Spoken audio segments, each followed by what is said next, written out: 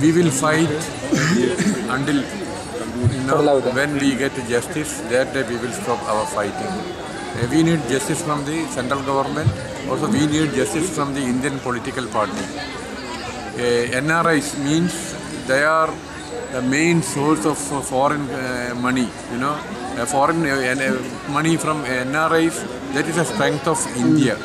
So why they are making, you know, calculating the weight after the death of the NRI people?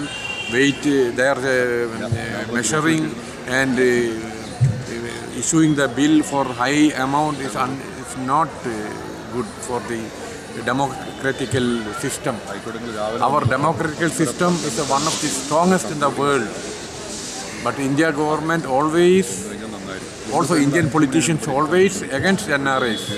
So we will fight till victory.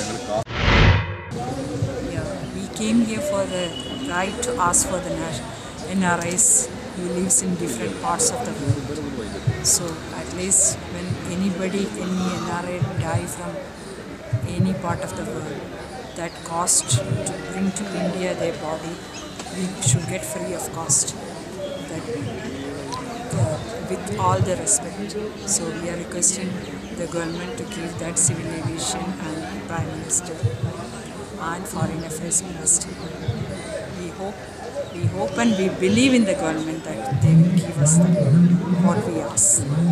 Thank you, sir.